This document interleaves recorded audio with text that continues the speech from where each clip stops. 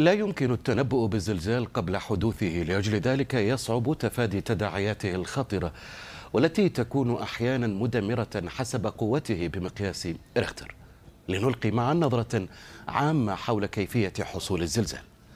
يعرف الزلزال بأنه اهتزاز أرضي مفاجئ ينتج عن الحركة المستمرة للصفائح التكتونية. والتي تسبب تراكم الضغط على طبقات الصخور على جانبي الصدوع الواقعة بين الصفائح ما يؤدي إلى تكسر الكتل الصخرية وانزلاقها فوق بعضها. وبالتالي إطلاق الطاقة المخزنة في القشرة الأرضية في حركة مفاجئة. تنتج عنها موجات تحمل طاقة زلزالية تنتشر عبر صخور الأرض لتصل إلى السطح ما يتسبب بحدوث الاهتزازات الزلزالية.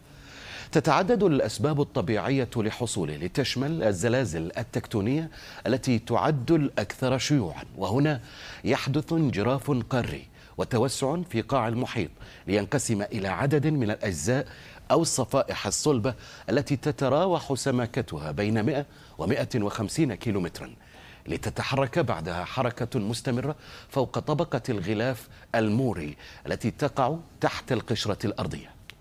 هناك أيضا الزلازل البركانية التي تحدث بسبب البراكين النشطة ولكنها ليست بقوة الزلازل التكتونية.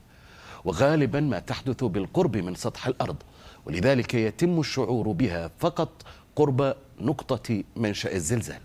يعقب ذلك حدوث الزلازل العديد أيضا من الأحداث والآثار التي قد تكون مدمرة ويمكن أن تتخذ أشكالا متعددة منها الانهيارات والفيضانات والحرائق وسيل التربة والتسونامي.